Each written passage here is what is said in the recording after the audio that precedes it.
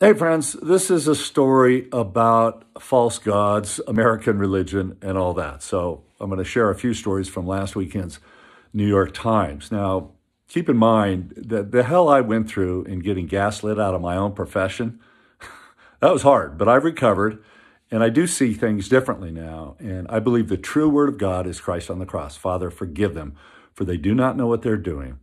And you know, uh, a famous psychiatrist taught us this over 100 years ago, Dr. Sigmund Freud. He explained that all this hurt in the world comes from subconscious projections of a lot of smart people who love each other, but they hurt each other in ways that are just hard to understand. I get that now. All right.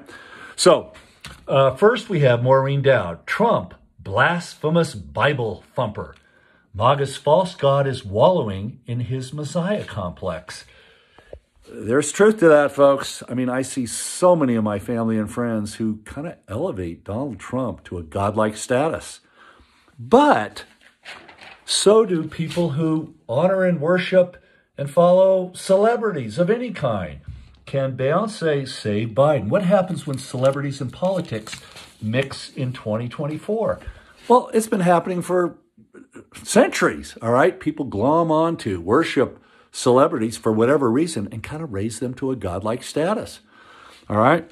Um, then we also have those who will put their faith and trust in technology, how AI chatbots chatbots become political. Well, everything's political for heaven's sakes.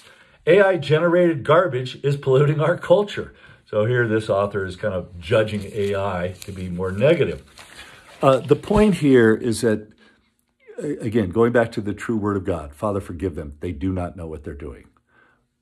Over the centuries, many of us humans have been worshiping false gods.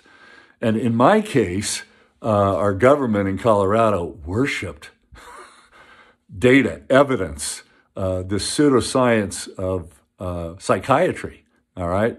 We kind of forgot what Dr. Sigmund Freud taught us, and we've been coming up with all these psychological, psychiatric theories that have not helped us humans over the last hundred years.